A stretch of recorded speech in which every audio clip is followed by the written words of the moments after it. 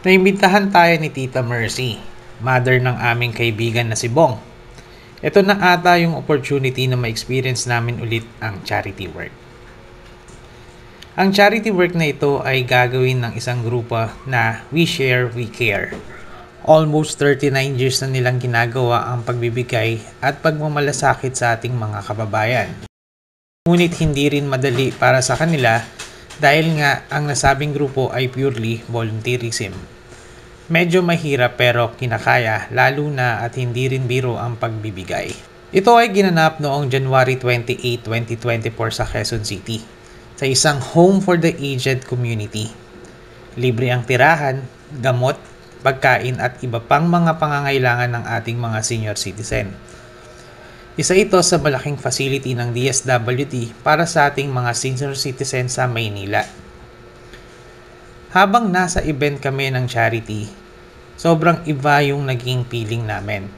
Unang-una, napakagaan dahil welcome na welcome kami sa grupo at masasabi ko na parang pamilya na ang turingan ng bawat isa.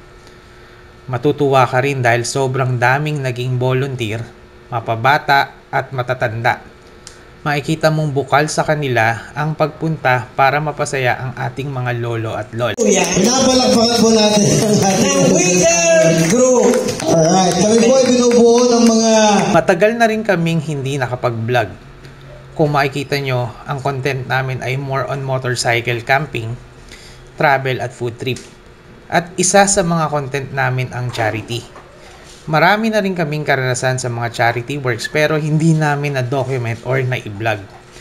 Gusto namin i-share sa inyo ang kauna-unahang vlog namin about sa charity at ikwento ang aming naging karanasan. Tara, samahan nyo kami sa Bahay Matanda.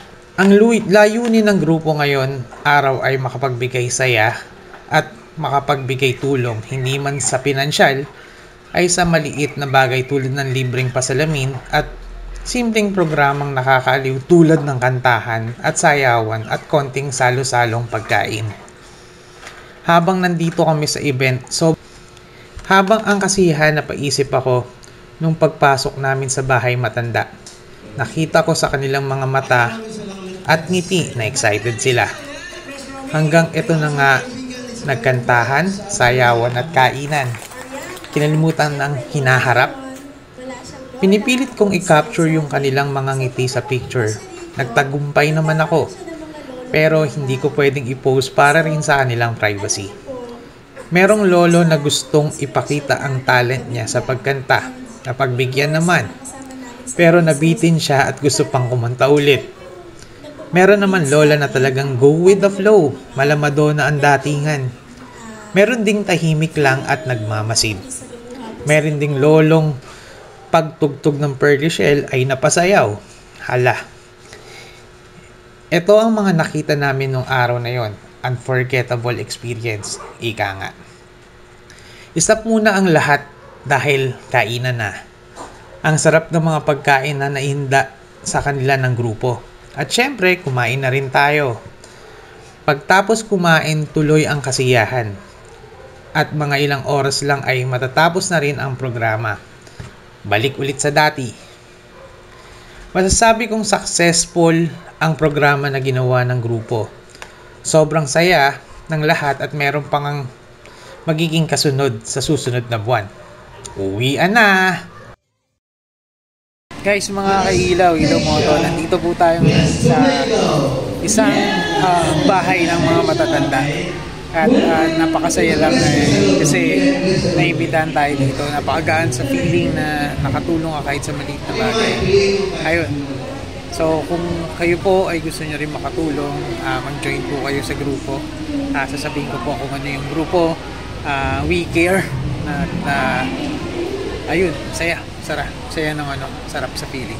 Nagpe-prepare kami sa pag-uwi, may pumasok sa isip ko Paano sila napunta sa bahay na ito at bakit wala man lang ba silang kamag-anak na pwedeng mag-alaga sa kanila? Na-imagine ko ang kalagayan nila after nung program. Sa konting oras na ginugol namin, yung saya na naramdaman ko ay napalitan ng lungkot. Gusto rin ko mang tumulong pero hindi rin naman sapat ang aking kakayahan.